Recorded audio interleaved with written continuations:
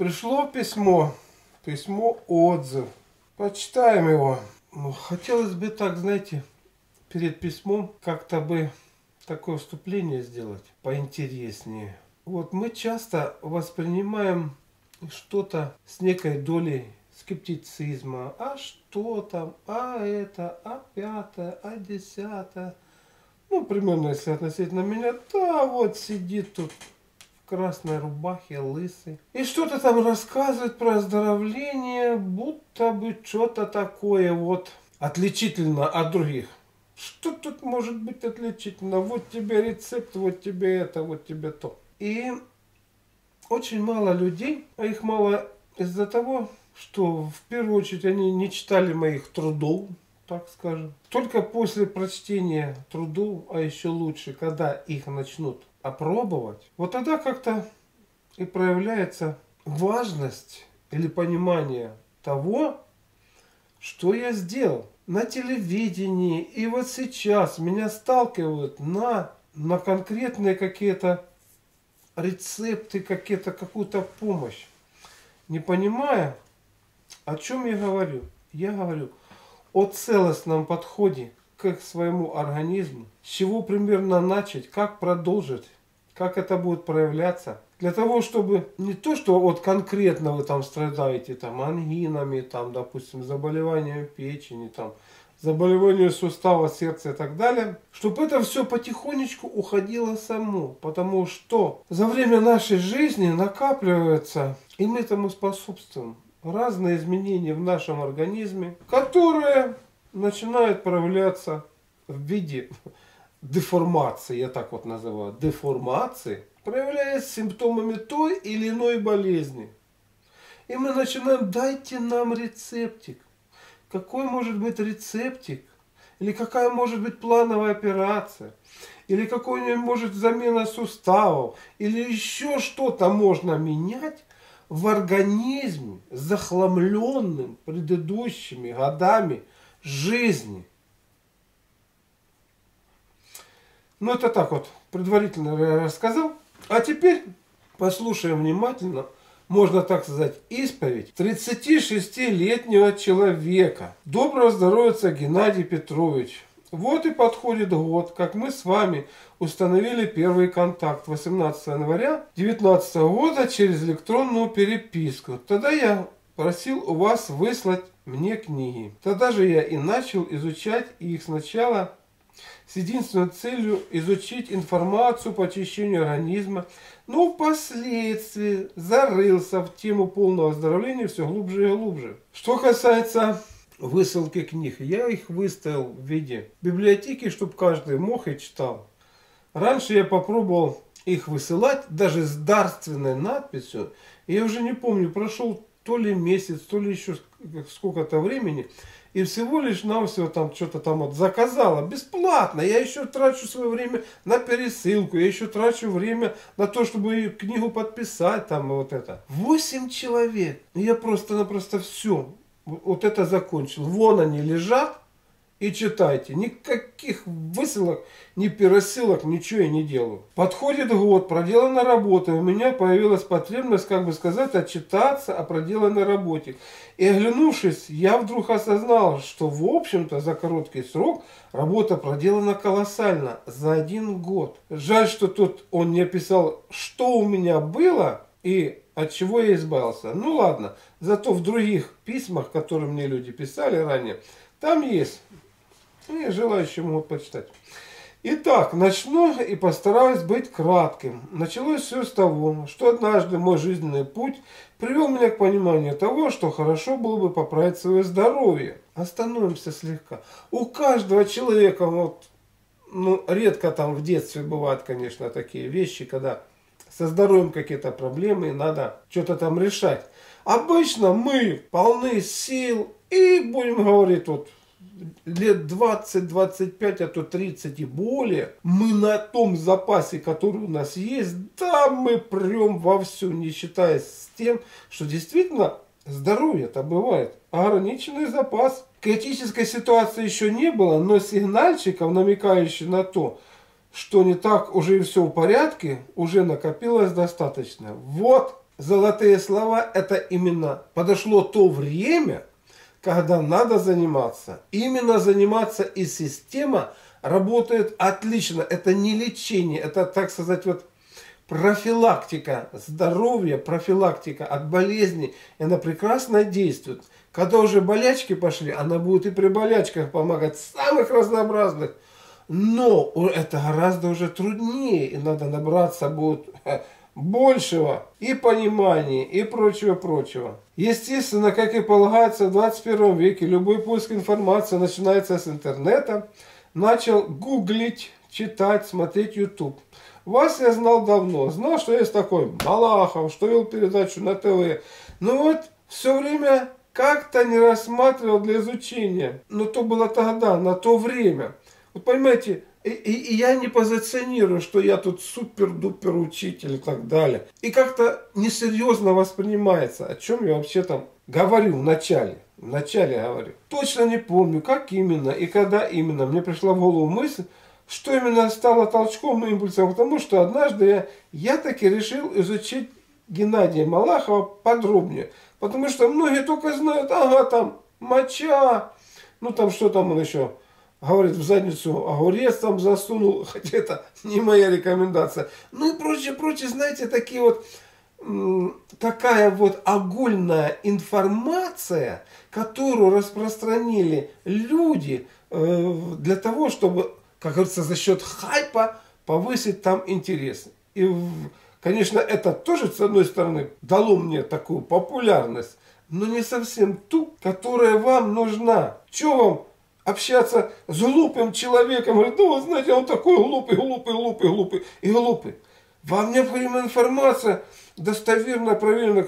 О, вот это работает. Вот тогда другое дело. Точно не помню, как именно и когда именно мне пришло в голову, что стало толчком, импульсом к тому, что однажды я так и решил изучать Геннадия Малахова подробнее. Через тот же интернет нашел вышел на ваш сайт, потом на YouTube канал, узнал, что у вас, оказывается, есть авторская библиотека, и она еще не вся выложена. И я еще могу еще лучше сделать. Но нету, нету вот какого-то уже творческого запала, импульса, потому что все, вот знаете, такое слово похерено. Медицина с 90-х, знаете, как это все вот уложилось, она взяла, так сказать, вот это вот это, опомнилась, ага, надо всех ошимовать вот таких, вроде как я и докажи, докажи, докажи, докажи, докажите себе, что ваши прививки работают. А то как были, народ болеет, так и болеет с прививками и без прививок.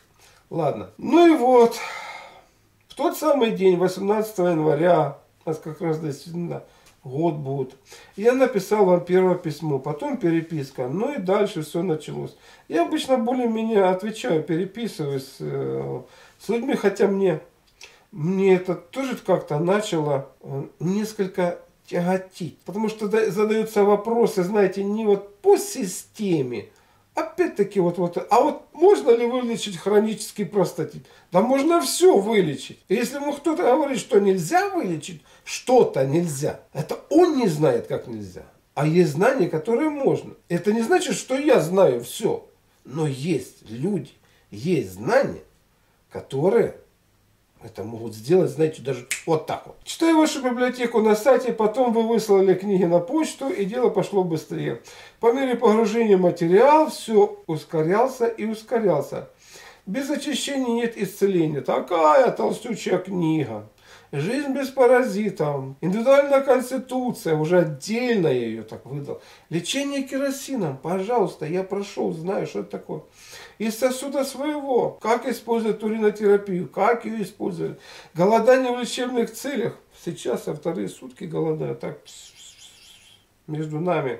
Никому не говорите. И меня не, не, не это самое. Не досаждайте вопросами по голоданию. О, книжечку так хоп, ой, что там написано, все вы знаете. Основы здоровья. О, капитальный труд. Одной книгой. Целительные силы. Основы здоровья есть одной книгой, так сказать, вот я и девятью книгами я их так расширил. А потом, чтобы понял, что вот девять книг. Человек одну взял, другую взял, третью, пятую, и все на этом. А надо одна книга, остальные Остальных-то нет. Вот, и вот как раз тут подчеркнуто. Единственное, не хватило основ здоровья девятого томика, там интересная информация, более подробно описана. Да, где-то более подробно описано, даже в тех же целительных силах, как бы сказать, один вариант написания, ну, отдельных фрагментов, а есть другой вариант написания. Я их не стал как-то соединять, но вот в двух вариантах есть. И что же в итоге? Да, начал я читать с довольно скептическим настроением. Мол, что-то может быть, вот именно, мол, что-то может быть, ну вот, вот посмотрите на меня, ну что он может сказать, вот, вот, вот, ну что он, что он собой представляет. Правда, когда на машине вы меня увидели, на Лексусе, как-то меняется. Вроде бы глупый человек, а смотри, как, как с его глупизной он мог залезть в эту машину.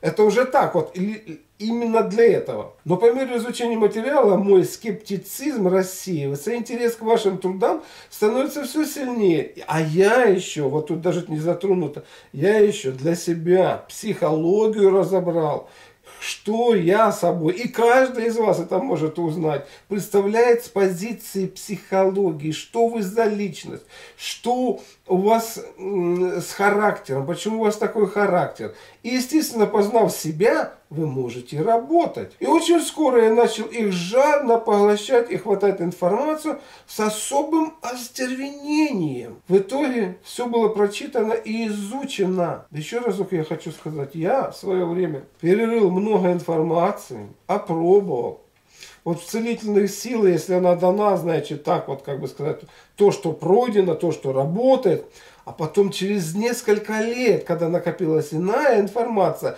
опыт и наслоилась на эту, возникла потребность переписать книгу. И я не поленился, написал «Основы здоровья диете» книга, потом понял, осознал еще дальше, и я написал одной книгой. И считаю на, на, на настоящий момент для русскоязычного читателя это будет самый адаптированный э, лучший труд по ведению собственного здоровья. И индивидуальная конституция, потому что рецептик, дайте мне рецептик, ха-ха-ха-ха. Этот рецептик подошел, а тот рецептик не подошел. Там, допустим, э, что-то там с поджелудочной железой.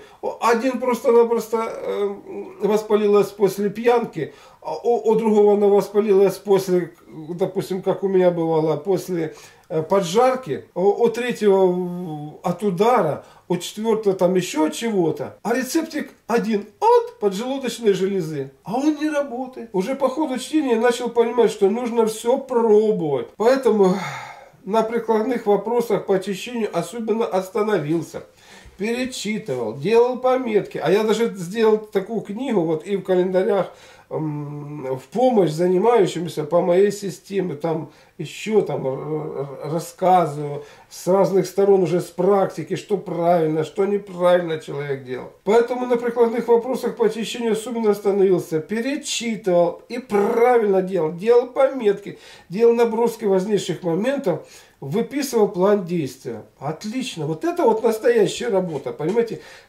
Многие говорят, а вот я, вот я народную медицину ну, применяла от тазобедренных суставов, там, от коксартроза. У меня ничего не получилось, она не работает, и там не работает. Да потому что вот так вот рецептюшки, рецептюшки вы принимали без понимания, а что ж там идет за процесс? В первую очередь я стараюсь описать процесс, который там, допустим, где-то идет, и потом уже, как этот процесс к нему подобраться, как его повернуть вспять. И поэтому получается у единиц. И я знаю таких людей, и причем много их знаю. А большинство, которые вот так по рецептам, там, да, я того, того, того, того, того, и у них ничего не получилось, естественно, они там, да наплевать на эту там народную медицину, вот там эта вот медицина там что-то делает. По крайней мере, э, официально что-то сделала, да, он на суставе там проскакал года два-три, может пять лет. А потом начнутся какие-то причины-то не устранены, изменения. Но это уже другое. Итак, толстый кишечник, клизмы, чистка печени, чистка соединительной ткани лимфатической системы в целом, да. Четвертое, противопаразитарная программа. И пятое, голодание. То есть голодание, я вот, вот, вот смотрите, опять-таки я с вами беседую, там, знаете, вот, о, да я пробовал голодать, голод мне не подходит. А я говорю, знаете, да просто-напросто это вы не подходите к голоду из-за того, что на него надо настроиться. Так вот, голодание заменит вам и очищение толстого кишечника, и печени, и соединительной ткани, и противопаразитарную программу. Но для того, чтобы, понимаете, познать это голодание, ну, более-менее, мне понадобилось 15 лет для того, чтобы я смог самостоятельно вот тут проголодать 40 суток и выйти благополучно без всяких последствий и сделать вот этот фильм, который вы там видите, что там выходило. Так, примерно. Но Легче всего, легче всего, конечно, начинать с толстого кишечника, чистка печени, соединительной ткани, противопаразитарная программа. То есть это быстро и наглядно дает эффект. Это, как бы сказать, вот оно лучше действует. А потом можно просто профилактически голодать там двое-трое, там сколько там суток, раз в две недели, раз в одну неделю, раз в квартал, раз там в полгода. И, и вот это все будет поддерживаться. Потому что на голодании запускаются такие механизмы, которые не запустишь на пищевом режиме. Они просто не работают. В результате пройденного пути опыт получен колоссальный. Много проб и ошибок. А так и должно быть. Усвоенных уроков. И правильно, и на основании проб и ошибок усваивается урок. Что теперь, понимаете, вы можете, не попробовав рецептик, ага, не подходит, не попробовав голод, а, голод не для меня, еще что-то. А вы уже это знаете, это можете. Так, можно еще одну книгу писать? Пишите. Здесь лишь приведу очень кратко основные выводы из всего пройденного. Первый. Толстый кишечник, клизмы, вещь хорошая. Сделать их, сделал их очень много. Недельные курсы по 3-4 клизмы в день делал. Выходило много всякой гадости. Результатом доволен. Кстати, вот знаете, можно действительно много э, делать очистительных клизм. Но, но тут, возможно, он и делал уриновые клизмы. Если вы будете делать клизмы с урины, а особенно с упаренной урины. Но эту упаренную урину, знаете, где-то надо упарить, наверное, до одной второй, одной трети первоначального объема, не до одной четвертой, то эффект будет еще лучше, все это будет выскакивать из вас. Но не любит, понимаете, вот, вот моча, она очищает, она очищает изнутри. Кто пробовал, тот знает. А, а для кого-то это, это это кажется дикостью. Как это так? Мочу использовать? Да вы что? Так, результатом доволен. А то будете очень довольны. Так, второе, печень. Кстати, могут выскочить и полипы, и еще какая-то ерунда, которую обычную клизму не берут. Печень. Чистка масло с лимоном, с лимонным соком проходило тяжело. Результат есть. Изумрудные камушки выходили, но все проходило тяжело. Второй раз проводил чистку по Татьяне Буревой. Вот знаете, я мог бы просто-напросто, не ссылаясь на Татьяну Буреву, она молодец, великолепно ее разработала, с, вот с тех народных позиций э, она к нам пришла, и причем не, не в упрощенном виде, как вот э, обычно представляется масло, лимонный сок, а вот именно с применением трав. Травы делают, ну, я там писал, что они делают, они большие вещи. Короче, я ее мог бы просто-напросто украсить, так сказать, это моя, не упоминать об этом. Но вот это уже говорит о, о человеке, что если вы что-то берете, вы на это ссылаетесь, а не прихватываете это себе и даже, говорит, не а, организуете там какой-нибудь кооперативчик по чистке печени, вот с помощью вот этих рецептов, и забудете о Татьяне Буревой. Бабушка Таня. Большой вам привет от меня. Я вас помянул добрым словом. Тут совсем другое дело. Травы, которые там нужно пить, на самом деле играют решающую роль. Как раз эти травы производят большую работу по смягчению печени. Смягчение печени, я об этом много говорю, вообще смягчение организма. Для того, чтобы что-то вышло, понимаете, из той же печени, она, знаете, вот как, как холодец. Вот, вот представьте себе холодец, котором там застряли различные там кусочки, там будем говорить этого. И этот кусочек выковырнуть с него очень трудно. А вот когда этот холодец начинает потом настаивать. Вот эта вся эта ерунда выходит самопроизвольно, легко и просто. Так вот эти вот травы делают подобную работу. Кстати, сейчас приближается уже, начинается новый сезон, опять-таки чистки печени, -та -та -та -та -та -та -та. то есть профилактически пройти вот эти разные процедуры. Вот, что такое смягчение организма. И потому все нечистоты из печени, да и из кишечника тоже выходят легко, без всяких стрессовой, стрессовой нагрузки для организма. Вот в чем дело. Понимаете, вот можно действительно принимать рецепты, делать какие-то чистки, не понимая, насколько это может быть обременительно для человека, насколько это может быть тяжело для его здоровья. Как есть такая пословица, в некоторых случаях лечение бывает хуже болезни. Ослабляет организм и может убить больного таким лечением. Поэтому надо такое лечение. А это не лечение, а это вот подход к организму, чтобы максимально облегчить выход шлаком и прочее, прочее, прочее. Без стрессовых ситуаций для организма. Кстати, вот эти различные стрессовые ситуации, когда человеку тяжело, когда там так, сяк, он чувствует себя вот так вот, ага, он и бросает это все. Потому что он не может, он не знает, как подойти к этому вопросу чистки мягко, так, чтобы он видел и хорошо и чувствовал результат. Ну и к другим там вещам. И поэтому, да, лучше таблеточку и все. И, или сделайте со мной что хотите, лишь бы я был здоров, лишь бы я тут не болел, лишь бы вот голова, ага, у меня заболела, таблеточку принял и все. Не задумываясь, что там дальше будет. Как у моего знакомого, болела спина, он вначале обезболивающие таблетки, так, а, нормально, а, спина не болит, потом только хоп, кровотечение, он чуть не умер, желудочное кровотечение. Сейчас он дальше тоже ничего не делает в плане того, чтобы работать над своей спиной,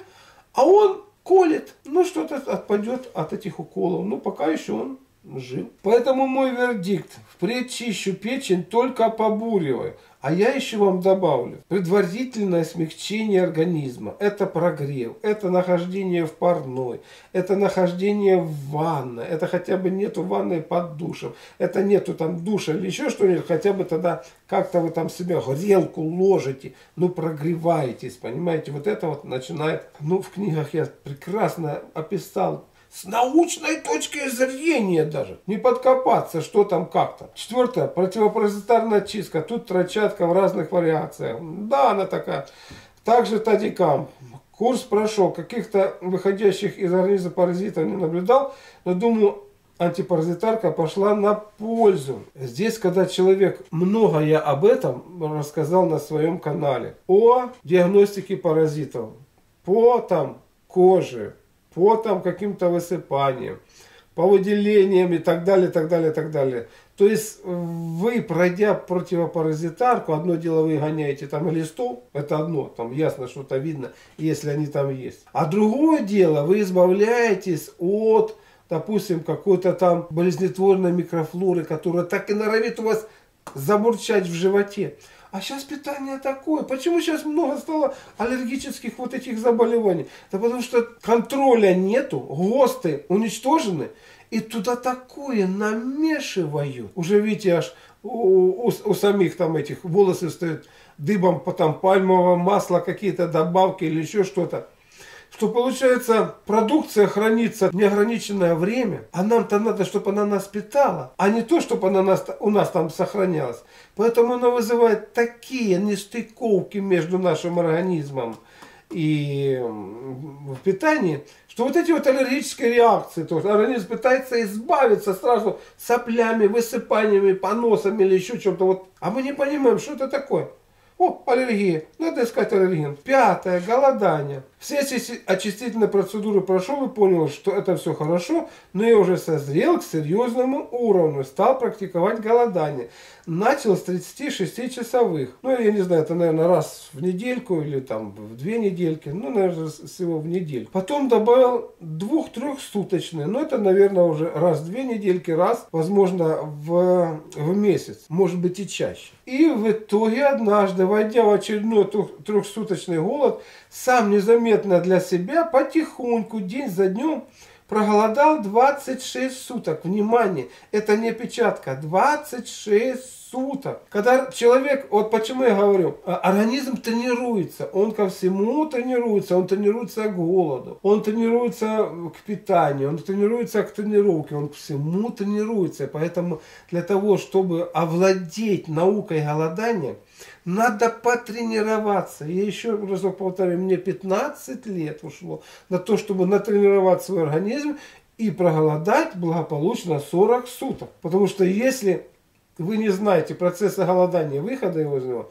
просто отголодал огромный срок, там, допустим, те же 26 суток, 40 суток, вы не сможете выйти из-за того, что не запустится у вас пищеварительная система. Из-за того, что вы не зная, как ее запускать, просто туда, знаете, набросали, как в костер сырых палок, и он вместо того, чтобы гореть, стал чадить. Вот так точно получается и с выходом из голода, если не знаешь как. Результатов от этого голода множество. Все и не передать, жаль, хотя бы основные. Пережил за эти 26 суток много всего хватило всякого. Опыт получен колоссальный. Ну, король, конечно, в первую очередь там это и сны. Это уже к вам подключается а, работа на духовном уровне. Понимаете, это очень интересные вещи. Ну и так далее, так далее. Там. Вкратце напишу, что особенно меня удивило и поразило. На протяжении всего голодания с клизмениями выходило много нечистот черного цвета. Первая ассоциация, как мазут. Это очищается печень. Вот именно клетки печени, вот там содержат разную ерунду, которую в данном случае человек накопил за 36 лет. Она содержится в клеточках, она содержится вот закапсулирована. И на голоде печень обновляется, эти клеточки распадаются и потом созидаются, распадаются, созидаются. А вот эта грязь выходит, выходит, выталкивается, дальше сбрасывается уже в э, толстый кишечник. Вот этот мазут, понимаете, это мазут, больше никак не скажешь. Так вот столько вот э, разного мазута накапливается у нас в печени, а потом мы удивляемся, а что там она быстро раздает, не работает. Вот мы думаем, что она как-то обновляется, очищается. Вот, человек и очистился, и, и, и питался, все там это такое, да? А потом начал голодать, и как будто бы он ничего не делал, такого впечатления. Не думайте, что печень так вот очищается. Это не такой уж простой процесс. И даже по Татьяне Буревой этого не происходит. Потому что, оказывается, недостаточно времени. Вот именно для того, чтобы из каждой клеточки освободилось. А там где-то получается, что, ну, будем говорить, больше из межклеточного пространства печени выбрасывается. Ну, возможно, частично что-то очищается от этой клетки. Но вот такого нету, понимаете, как бы сказать, вот клетка только раз отмирает и выбрасывает из себя. А другая нарождается, выбрасывает из себя.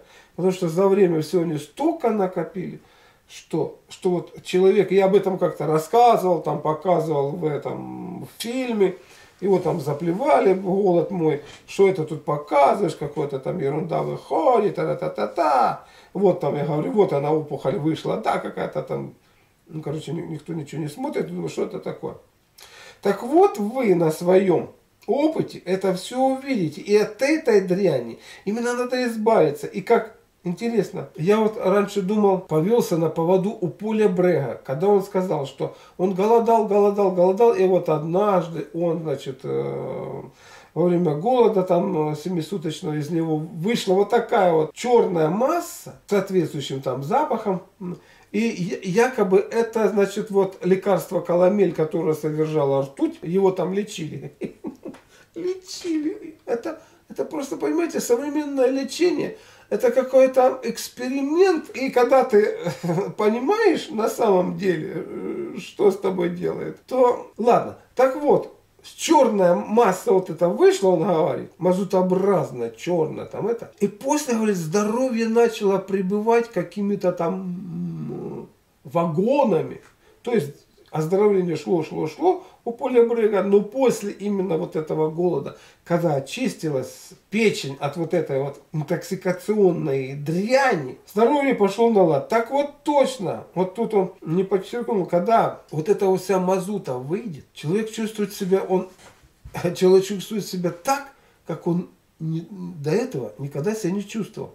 Просто понимаешь, насколько может быть могучим здоровье.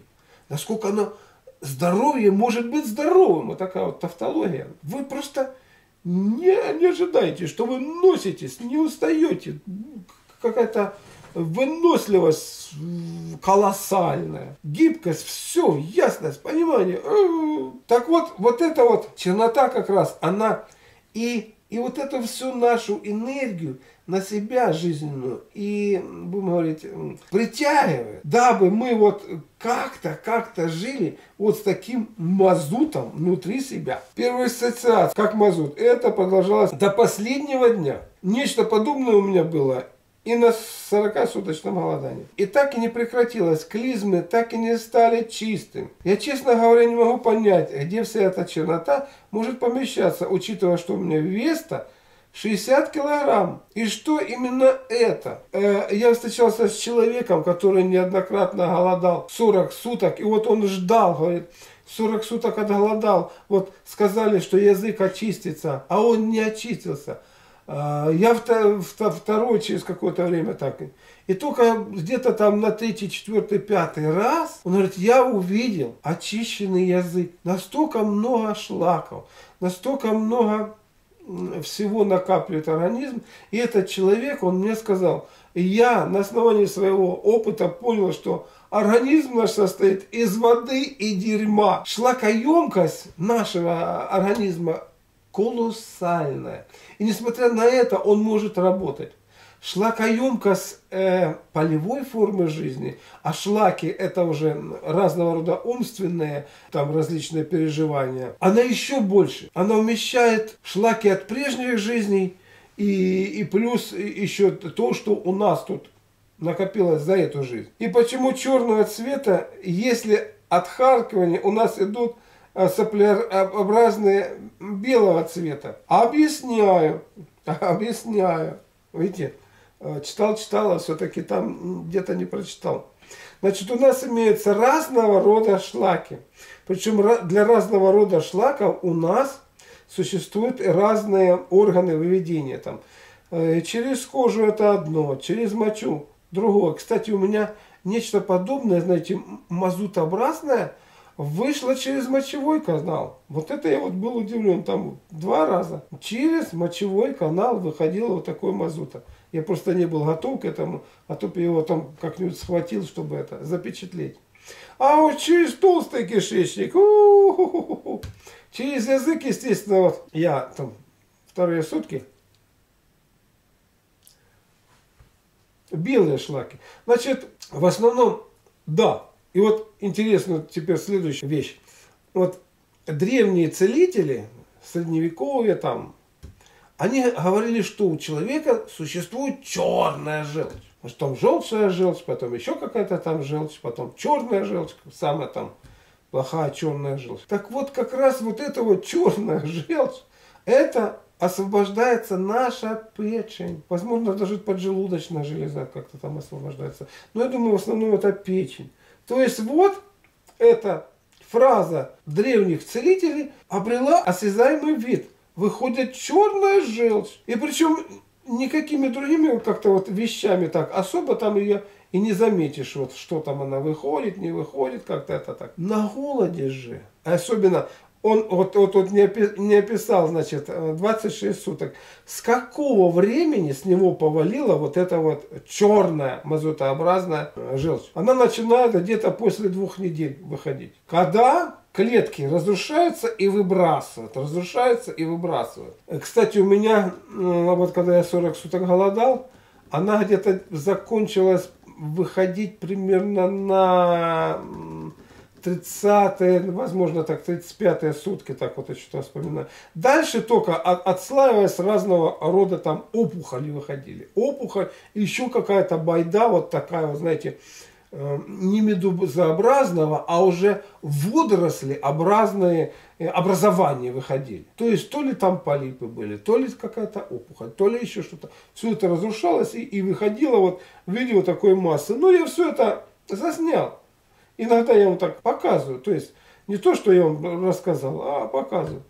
Так вот, когда печень вот так вот вывернется вся, это примерно вот 26 Вот еще там надо было бы подождать где-то суточек примерно 10, и вот эта мазута бы вышла бы. То есть черные шлаки, я считаю, это из печени, и как говорят целители древние, вот подтверждение, что это черная желчь. Выходит ненужные образования, которые как-то накопились, и которые очень трудно вывести из организма на пищевом режиме. А если туда еще попадает какая-то ерунда, которая, как бы сказать, вообще трудно выводится, то, то она там будет, грубо говоря, там до конца жизни. Что касается слизистых шлаков, то есть печеночные, желчные шлаки, они выходят через толстый кишечник. А вот все слизистые шлаки, они выходят через легкие носоглотку. Это уже шлаки, которые находятся в каждой клеточке организма. Их ну, древние там или средневековые индусские целители называли ама. Это такая белая липкообразная субстанция, которая находится в каждой клеточке. Да? А, тоже в клеточке накапливают. И вот они меняются клеточки она выходит, меняется, выходит. И она выделяется, вот она выделяется, значит, в лимфу, а дальше она выделяется, значит, в кровь. И вот с циркуляцией крови она подходит к легким, к носоглотке и выбрасывается. Слиз выделяется так. И это идут как раз разрушения, вот это, вернее, выведение слизистых шлаков из каждой клетки. И если мы, почистив печень, чувствуем такой прилив сил, то если мы каждую клеточку очищаем, мы чувствуем э, силы еще больше. Я это чувствовал. И вот будет first name, ник этого человека. А дальше продолжит. И он это все почувствует. Полет, понимаете. Какой-то такой нереактивный самолет, а понимаете, уже такая какая-то сверхзвуковая ракета. Человек становится. Но это надо поддержать и закрепить. Ну, пока я Остановился и сказал, слизистые шлаки – это шлаки, которые выходят из каждой клетки организма, они выбрасываются отсюда. Желчные шлаки в виде черной мазуты, они выходят из печени. Из-за того, что клизмы так и не очистили, сделаю вывод, что очищение не доведено до конца. Работает, работы еще много. Ну и что? Пускай там избавились от какого-то количества шлаков. Сейчас, знаете, вы почувствуете настоящее здоровье, вам станет намного интереснее заниматься этим всем делом. И дальше, что самое интересное, вот в начале, когда энергии мало, когда она связана вот этими связ... шлаками, вот этими, знаете, только начинающимися болячками, а жизненная энергия связана. А когда вот так вот от чего-то уже избавились, а тело становится чистым, а дальше процесс идет быстрее, быстрее и интереснее. Так что это вы проделали, знаете, вот самый первоначальный этап, который наиболее трудный и который наиболее вот э, видимый. Дальше все пойдет более-менее там по мелочам, и, и результаты так будут еще более интересные но без всяких вот таких, знаете, что-то там вывалилось. Так, работы еще много, она пойдет, пойдет, просто продолжайте. Далее уже на выходе из голода еще около недели шел полностью черный кал. По одному этому я уже понял, сколько черни и нечистот накопилось за всю жизнь. За 36 лет. За 36 лет. Видите, наше тело наполовину становится каким-то уже землянистым. Значит, что еще? Смотрите, когда человек выходит из голода, это не значит, что я э, вышел из голода, дальше идет там питание и так далее. На голоде вы запускаете процесс. Процесс, этот процесс как глыба льда огромная, знаете, как айсберг.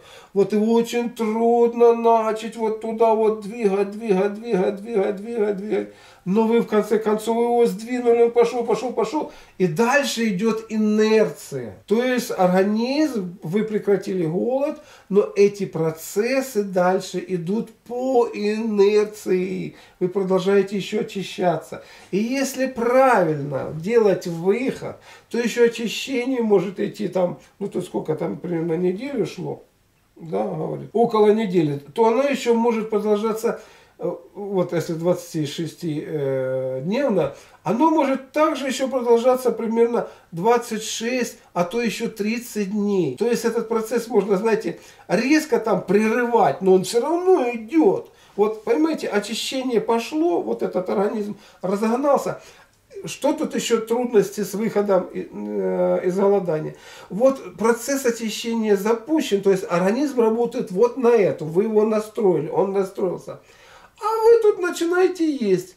И организм, он, понимаете, он настроен на процесс выведения, а вы ему пищу. Он пищу, надо еще пищу как-то усвоить. А то тоже это надо свои процессы развернуть в организме, чтобы усвоить эту пищу. А тут еще очищение вот продолжается. И вот это вот все наслаивается одно на другое. И масса разного рода осложнений возникает во время выхода.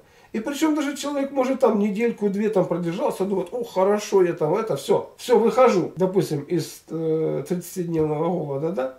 А там он еще не закончился, вот эти процессы. И он начинает там конфеток там съел или еще там чего-то. И у него там на, втор... на, на третьей, на четвертой неделе все это может затормозиться и дать неправильные, будем говорить, вот эти вещи. Потому что вы, вмешавшись в работу организма, вначале его настроили на голодание, а потом э, пытаетесь его резко переключить на питание. Он не может так делать.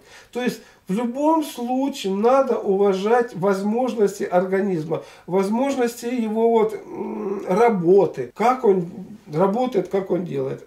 И тогда будет нормально. А для этого надо, конечно, и изучать, и прислушиваться, и наблюдать за собой, за своими реакциями.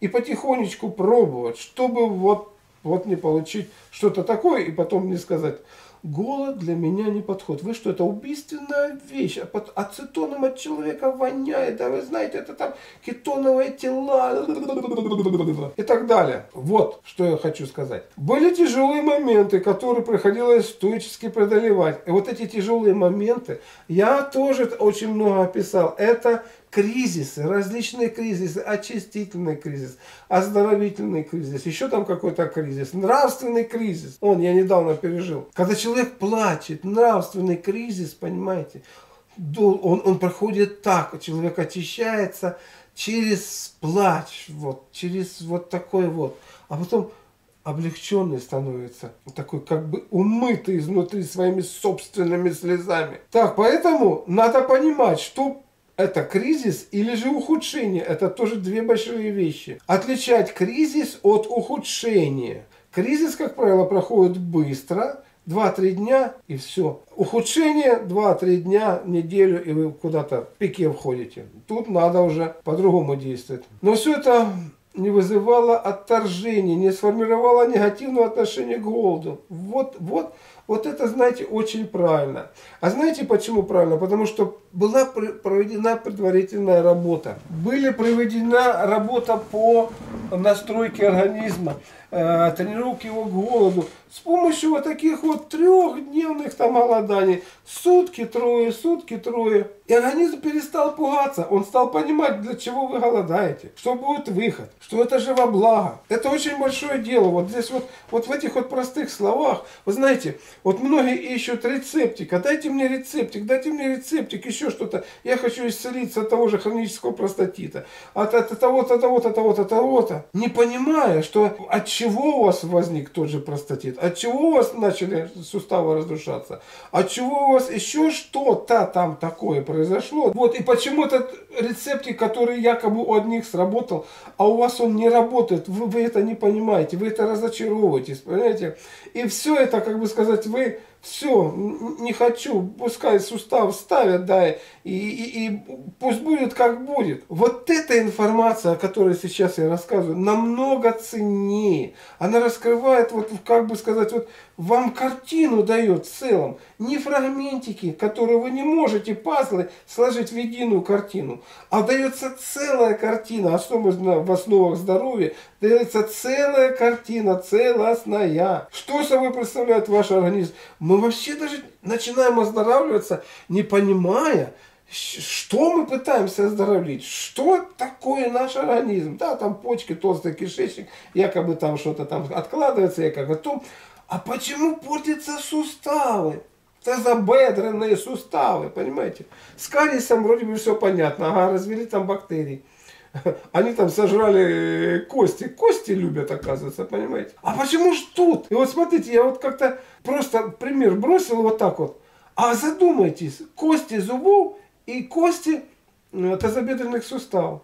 И примерно разрушение идет. Чувствуете, кто там может помогать еще разрушать, помимо всего прочего, помимо питания. То есть человек не понимает, что такое организм как он работает и так далее, он пытается рецептом что-то сделать. Ну, знаете, очень хорошо вообще, что и та серия прошла, вот меня там ткнули на то, что а вот медицина, смотри какая, что, понимаете, настроить на это. И тут вдруг приходит вот это еще вот письмо. Оно потребовало более длительного размышления над всей этой темой, вспоминания того, что я уже прошел и, и начал забывать, и все это по новой пошло. А, аж мурашки пошли. Вот что значит войти в поток. И когда вы это все понимаете, вы тогда ну, ну, начинаете знать, с чем вы работаете, как работать, и, и, и где что надо терпеть, где будет плохо. Но это естественно. А где дальше будет хорошо. Мы же это вот чуем, не понимаем, столкнулись, ой, больно, и все, бросаем. Ой, ой, ой, не хочу. Значит, еще разок повторяю, но все это не вызвало отторжения,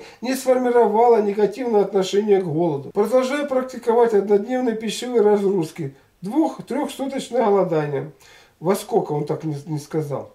Скажу так, голод мне пришелся по душе, взял на вооружение. К голоду надо настроиться. И, и как говорил Николаев, Юрий Николаев, да, голод не тетка, а родная мать. Видите, как изменилось отношение к, э, к этому процессу, который ты взаимодействуешь, сейчас я еще дальше скажу, вижу э, по своему организму, что работа еще много, очищение продолжается, и голод в этом мне здорово помогает. Когда вы начинаете голодать, что вы делаете? Вот эти все, как бы сказать, воздействия, которые мы получаем с пищей, они перестают на нас действовать. Пища – это информация, которая в нашей информационной системе тоже вызывает разбаланс. А когда вы начинаете голодать, вы становитесь цельным. Вся эта вот информация, введенная в вас, там, э, в вашу систему информационную с помощью пищи, она уже не вводится. Организму не надо с ней бороться. И вы открываете вот этот вот поток, вот этот вот, мы же строимся изнутри, мы внутренне этот, все это открываем в себе и черпаем вот эту энергию, первозданную энергию, которая лежит в основе создания и поддержания нашего организма. Мы с ней взаимодействуем. Вот что самое главное в голоде, а не то, что там что-то там омолаживает, что-то действует. Мы взаимодействуем именно с ней. Это, это, это основное, это, это как бы сказать, тысяча процентов. А все остальное, что там он делает голод, это один процент всего лишь навсего. И голодали раньше не для, здоровья, голодали раньше для просветления, для подключения к высшим силам, для обретения этих высших сил. Вот в чем э, самое истинное назначение голода сказывается. А вот это, знаете, побочные эффекты, потому что, грубо говоря, приблизиться к божественному источнику, который дает вам силы, невозможно без того, чтобы не очиститься от скверны, которую мы набрались. Поэтому вначале отлетает разного рода вот это скверно, вот эти вот слизистые шлаки через глотку, черные шлаки через толстый кишечник. А, а еще, он еще не, не дошел, я не знаю, там или не написал, а еще примерно с этого времени начинается отторжение какой-то энергетики, такой вонючей энергетики. А, отторжение, вот знаете, вот это вот, как бы сказать, все клетки, которые старые были у нас в организме, мы же состоим из клеток, одни клетки юные. То есть та же клетка живет там, ну, примерно там, пускай там 100 дней там она живет, да? Вот, а, а одна клетка там прожила только 20 дней, другая 50 дней, а третья там 70, другая 90 дней. И вот эти старые клетки, они уже, говорит, как трупы у нас, мы что состоим из, трупов, из трупов этих клеток, организм их тоже начинает использовать, делать. И от нас бывает, вот, на длительном голодании, вот как раз это за, за 20, за 20 где-то 5 вот такие сутки, от нас вонь идет. Вонь вот такой плотью, вонь идет, вот это вот. Идет она где-то неделю, две, потом ее нет. И мы тогда вот очистившись, начинаем приближаться к этим вещам. Но, опять-таки, э, я так уж немножечко увлекся э, про голод. Здесь надо настроить организм не на там очищение э, и оздоровление, а именно на связь со своим первоисточником, со своим духом, который находится именно там. Мы как Божья частица, творческая частица, с этим. Тогда несколько будут иные результаты. Что не пошло? Как уже упоминал, простое очищение печени оливковым маслом, лимонным соком процедура оказалась слишком тяжелой. По Татьяне Буревой делайте. Пробовал один раз прокшалану, не пошло, было тяжело. И после процедуры полная разбалансировка в работе организма. Все системы и органы нарушили, что-то пошло не так. В общем, прокшалана не для меня. И насчет прокшалана я, конечно, мог бы тут поговорить, но я уже, так сказать, э, выбиваюсь из э, времени. Она должна быть окончена в первую очередь, чтобы, чтобы все прошло, чтобы вся эта вода вышла. Вот. Ну и, естественно, большое количество вот этой вот соленой воды, это мы внутрь своей информационно-энергетической системы вносим огромное количество информации, которая идет от соли, от соленой воды. Именно вот этого разогрева организма. Вот это разогрева организма от обилия этой всей соленой воды, и он вот приводит к таким вот вещам. Для некоторых это может быть хорошо. Там, допустим, для людей, которые полные, которые мерзнут. А, допустим, для человека, который не полный и не мерзнет, это перебор. И идет разбалансировка по жизненному принципу желчи. Кстати, тут пока нету этих. Это начинается уже высшая математика оздоровления. Очищение полевой формы жизни. Несколько раз пробовал очищение полевой формы жизни. Желаемого эффекта не получил. Вообще не было признаков выхода психически эмоциональных зажимов, описанных в книге. Возможно, что-то делал не так. Слово сказать, все процедуры проводил без музыки. Возможно, именно нужное музыкальное сопровождение играет важную роль. В общем, буду пробовать еще. Да, я очень подробно расписал очищение полевой формы жизни. Слизь с меня выходит э, голос, дребезжание создает вибрации, которые лучше очищают легкие бронхи. Поэтому люди откашливают, особенно те, у кого мы решили так. Значит, что там? Очищение полевой формы жизни.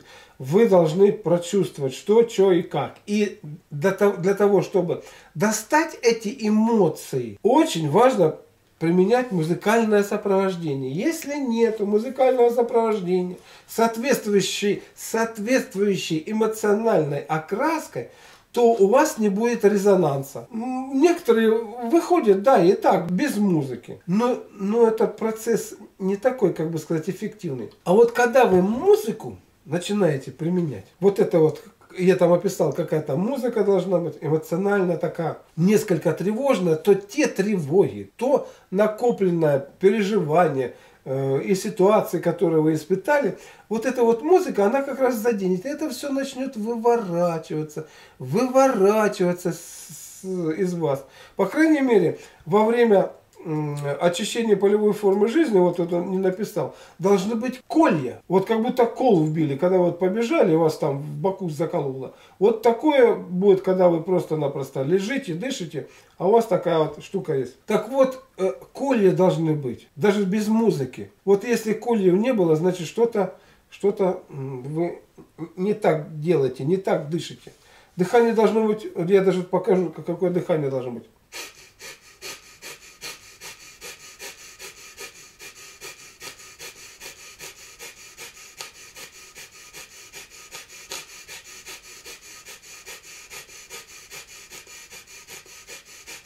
Для некоторых это покажется, что это дыхание э, быстро приведет к вымыванию там, углекислоты и так далее. На самом деле оно опять-таки энергетическое, оно движется вот здесь вот, вот здесь вот и создает только энергетическую наполненность нашей вот энергетической системы, так скажем, в которой идет своя циркуляция. И там, где эта циркуляция затруднена, возросший поток циркулирующей энергии начинает туда упираться, и мы ощущаем кол. Это как раз и есть эмоциональный зажим. Вот этот кол должен лопнуть и выйти. Описано там, как это все выходит как вы там чувствуете, что вы там переживаете. Все это я описал, рассказал и пережил. Если бы я не пережил, я бы ничего не нет. Пробовать дальше. Я думаю, после вот моей вот этой вот беседы, э, вы несколько поймете по-другому. Если прикинуть по времени, то с момента начала очищения клизмами и до момента полного восстановления от 26-суточного голодания прошло 9 месяцев. Иными словами, первые 3 месяца массированная теоретическая подготовка. И далее за 9 месяцев попробовал, прошел, изучил на собственном организме все очистительные процедуры и голодание. Это хорошо. Прошел, изучил и понял, как это работает. Я когда сел и призадумался об этом, сам аж ахнул. В общем-то, если вспомнить с каким пессимизмом начал изучать всю эту тему очищения. И как потом резко ускорился, то диву дался. Как, как, как так я вообще смог? И как я все это выдержал и прошел? Вы знаете, вот действительно, вот, вот сейчас я нахожусь, вы еще в этом говорите, вот что там вес излишний, вот там что-то как-то выглядишь не так, как не, не просто вот как бы собраться и пройти это заново, я уже понимаю, требует каких-то таких вот э, чисто психических усилий. Их надо сделать. А ты вроде уже всего достиг, всего это. Ты уже согласен с тем, чтобы просто вот как-то, и я думаю, большинство людей, они уже соглашаются с тем, ну, более-менее нормально чувствуем, чувствуем. Ну, там таблеточку выпьем, там укольчик сделаем, там какую-нибудь процедурку там сделаем. Ну, чтобы как-то не самостоятельно. Самостоятельно надо вот эту вот энергию напрячь из себя. И вот, вот это вот, как бы сказать, вот, вот это вот напряжение, представление того, что надо эту громадину опять повторить, вот она как-то, как-то будем говорить, э, пугает, отвлекает или еще. Поэтому, поэтому, видите, я так как прошел, поэтому я прекрасно понял вот эти вот слова, диву дался, как я вообще смог и как все это выдержал и прошел. И когда вы это все делаете в первый раз, то естественно у вас и вот энтузиазм, у вас совсем какой-то другой настрой нежели это сделать второй раз, повторить. Вот, я говорю, если бы я не сделал, я вот эти вот слова, за эти слова не зацепился бы. Можно это сделать, можно все сделать, просто надо самоорганизоваться. И, и опять-таки расслабляемся, опять там какие-то болячки там приходят. Причем совершенно другие, от которых мы уже избавились. Вот, и опять надо. А зачем эти болячки приходят? А болячки приходят из-за того, что мы, вот, мы относимся к своему болезни как к злу, как к чему-то такому плохому, которое вот начинает тут нас э, коробить. А когда вы начинаете понимать, да это вы же своим собственным образом жизни довели себя до того, что у вас заболела спина, что у вас стали болеть тазобедренные суставы, что у вас начинается сердечная недостаточность, что у вас сосуды забились, начинаются там, допустим, головные боли, еще что-то, или еще что-то, еще что-то. То есть вы понимаете, и что у вас вот эта вот боль, болезнь, которая опять возникла из-за вашего же образа жизни, побуждает вас опять встать на этот путь, на этот путь здоровья и духовного роста, с которого вы, э, пройдя по нему часть убедившись, да, это так хорошо, это, это, расслабились. И те блага, которые вам дал вот этот путь в начале, вы на них как бы сказать, разнежились, расслабились и думаете, о, хорошо, нет, понимаете, нет, несмотря на вот эти вот машины, у меня две машины, этих Lexus черный, это Lexus белый, надо ходить. Ну не только на попе ездить, оказывается, надо ходить на свежем воздухе, надо заниматься, что надо все это дело делать. И, и, и, и как бы сказать, обрастая вот всем этим, ты все-таки понимаешь, понимаешь, и, вернее, тебя заставляют понимать. Причем так, так искусно, откуда ты совсем не ожидаешь. Ты думаешь, да тут я уже здоров, все. Тебя подковырнут с той стороны, с которой ты не ожидаешь. И так подковырнут, чтобы ты опять на него встал. Встал и, знаете, вот бывает первая любовь, когда ты любишь по юности. Любишь вот за красоту просто, за здоровье, за вот это, вот это первое впечатление юношеской любви, они такие, вот она красивая, или ты там красивый, он такой красивый, вот такой вот, вот, вот у него кожа, вот такие вот ласки, вот такие волосики, вот ну такой он, он милочка. Вот, а поздняя любовь зрелая, ты уже понимаешь, что ты любишь не за то, не за форму этого человека, а ты любишь его за содержание. За содержание, какое оно красивое. И это содержание проверяется с течением времени. И даже в 36 лет он, возможно, этого еще не понял. Того, что я уже понял, вот смотрите, 36 лет и 66 лет, 30 лет еще понадобилось для того, чтобы сравнить юношескую любовь со зрелой любовью. И причем не к определенному этому человеку, а и даже не к определенному методу, а к вот той жизни, мудрой жизни, которая тебе дана, которую ты использовал вот так вот, вот так вот, вот так вот. И, и в результате этого, будем говорить, получил там и что-то положительное, и что-то отрицательное. Вот. А теперь для того, чтобы вот собраться и опять ты по новой все это обмозговываешь, понимаешь, начинаешь работать в этом направлении, вот, и, и вновь любишь здоровый образ жизни совершенно с иных позиций, с таких зрелых, и ты уже особо ну, не уходишь с этого. Да, что-то там, там еще там будет и так далее и тому подобное, но ты уже внутренне изменился изменился твой стержень. В 36 лет он, как бы сказать, знаете, вот так сказать, по нему постучали молотком. И можно сказать, где-то разогрели. Но чтобы подлинная закалка произошла, вот это еще должно пройти какое-то время, во время которого этот раскаленный стержень пш, окунуть в воду, он зашибит и станет сталью. Я, например, честно и откровенно говорю, я уже 66 лет мне, я уже э, прошел многое, как-то мне стало неинтересно жить, вот все уже было и так далее. И если умереть, я вот, умру без всяких там этих особых там сожалений. Вот, то есть в таком плане выковался. Но жизнь на этом не кончается. Вот ты хочешь уйти, хочешь не уйти. Она она тебе еще что-то преподнесет и что-то преподносит, какие-то дает барьеры, чтобы ты через них прошел. И вот эти барьерчики как раз вот подошли. И можно от них действительно отказаться. Да, я, у меня все уже есть, у меня уже все было. Мне неинтересно а можно еще дальше пройти. И глядишь, появится какой-то совершенно иной интерес, который станет интереснее всего, что было до этого. Пару дней назад завершил написание брошюры «Моя система оздоровления». Там все, что должно быть, исчерпывающая информация по теме. В выжимки из всего пройденного очистительно-оздоровительного опыта. Таким образом, чтобы в любой момент, через любой промежуток времени я смог открыть эту брошюру, прочитать и сразу начать действовать. Ну вот смотрите, моя система оздоровления, моя система оздоровления. А в основах здоровья – я написал книгу эту для того, чтобы каждый из вас создал свою собственную систему оздоровления на основании этих знаний. И вот этот человек, first name, первое имя, он как раз ее и создал. И можно так сказать, а что вы хуже его? Что он там, как бы сказать, более вас образованнее? В чем-то там лучше или еще там? В чем он лучше, что он создал свою систему?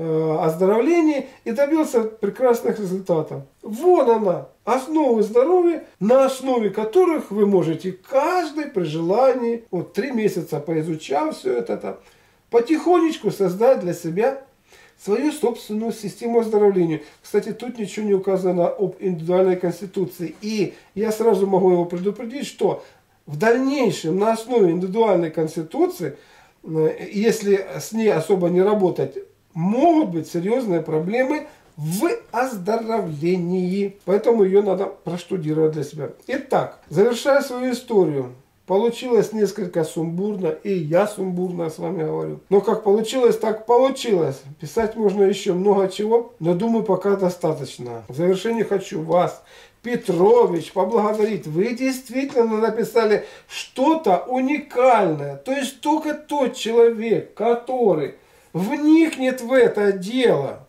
Это непростое дело, как медики изучают там вот эти вот труды и готовятся к тому, чтобы стать врачом.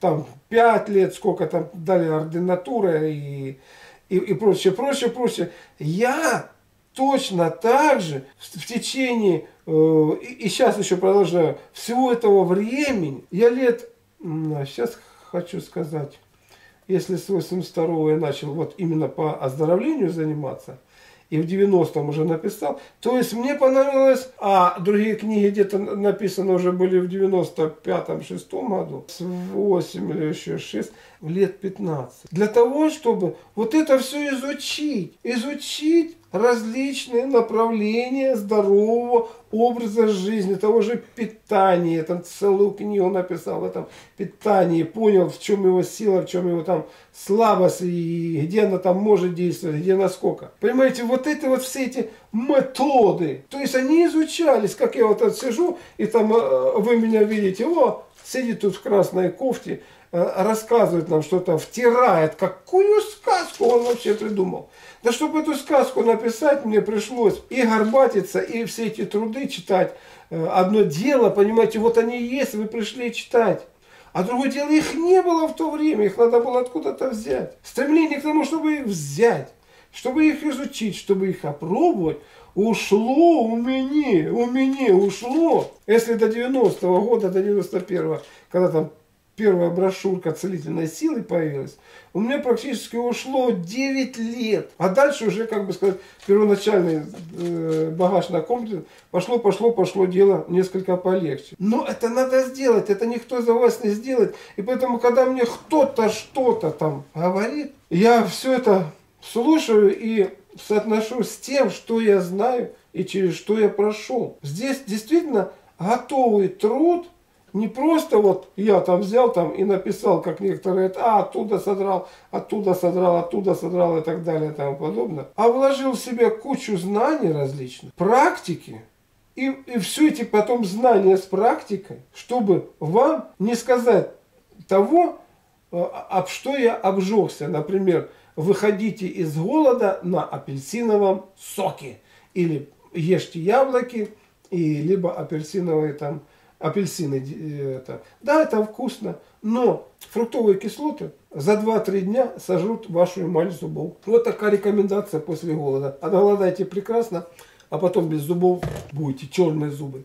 У меня такое было, но удалось восстановить. И вдобавок действительно получилось такой труд, по которому можно работать, по которому можно получать результат. И это не для одного человека, моя система, а это для всех. При желании каждый может на любой стадии своего, так сказать, э, жизни создать.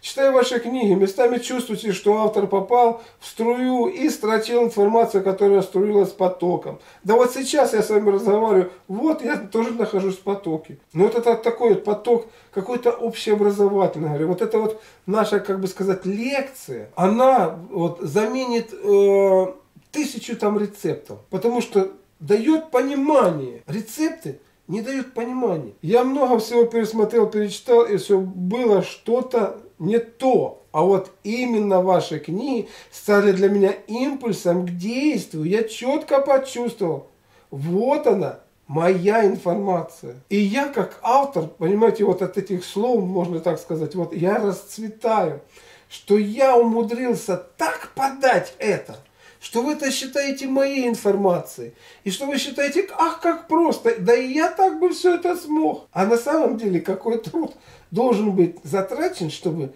все это было вами воспринято как моя информация. Геннадий Петрович, отдайте мою информацию. Вот то, что я искал. И поэтому без всяких колебаний начал действовать. Ну это хорошо. Так что спасибо вам, Петрович. Теперь, когда основной путь пройден, уроки усвоены, опыт получен, я переворачиваю эту страницу своей жизни, начинаю действовать дальше. Естественно, уже с учетом полученных знаний и жизненного опыта. Э, я рад, что это был год моей жизни. Это был год для меня интересный и сверхполезный, познавательный и поучительный. Ах, как он подметил. Вот мы иногда действительно живем, живем, живем, как бы сказать, ну, ну просто живем там, вот то-то, то-то, то-то было. А вот когда вот вы получаете вот нечто такое, что открывает ваши глаза на всю дальнейшую вашу жизнь, открывает глаза на то, как сохранять здоровье, знаете, и дальше. Вот тут вы действительно цените это, это время.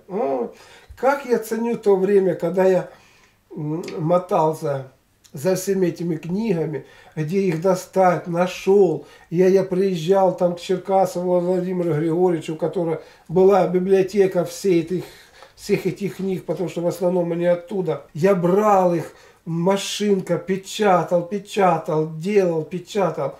В знания вливались, вливались, вливались. То было такие наработки. Сейчас я в этом плане существенно подостыл. Но тем не менее, я набираюсь каких-то иных знаний, которые даются уже, как бы сказать, не просто написано, а даются в результате собственных индивидуальных усилий. А для этого надо сделать усилия, чтобы их получить. Далее, корректировка образа жизни. Особенно я бы э, хотел остановиться здесь, чтобы вы остановились на изучении моей психологии, как я ее изложил.